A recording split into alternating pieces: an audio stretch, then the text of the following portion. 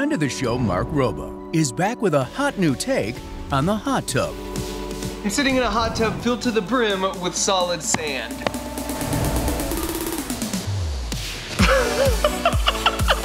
What?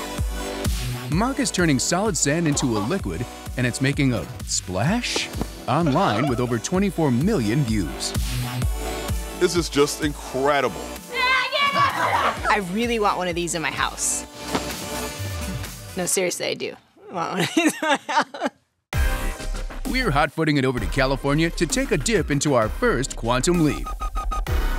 I wanted to capture the true, like, first reaction of what it felt like when we turned it on. And so when I'm sitting there at the beginning, that's legitimately the first time that we turned it on.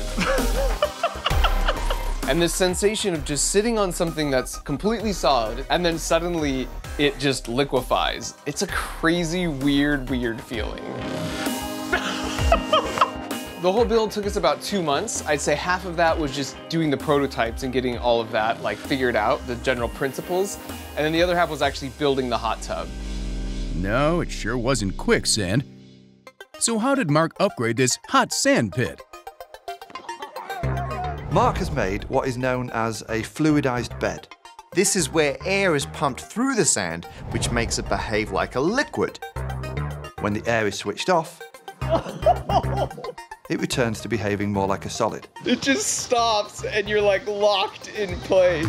Mark has 18 copper pipes that run side by side at the bottom of the hot tub. Into these, he's drilled over two and a half thousand holes, which are regularly spaced and all pointing down so the sand doesn't get stuck in them. Those pipes are welded to one big pipe that's connected to three cylinders of nitrogen gas. Then, Mark fills the hot tub with over one ton of dry sand. But how does he make the sand act like a liquid? When Mark opens the nitrogen cylinders, the gas goes between the sand grains, reducing the friction in between them. The gas provides an upward force on each grain of sand, which counteracts the force of gravity. So if those two forces are in equilibrium, the sand just hovers. The gas flow has to be just right to allow the sand grains to move freely over each other. If the gas is coming out too quickly, it will give too much force to the grains of sand and they will fly out of the hot tub.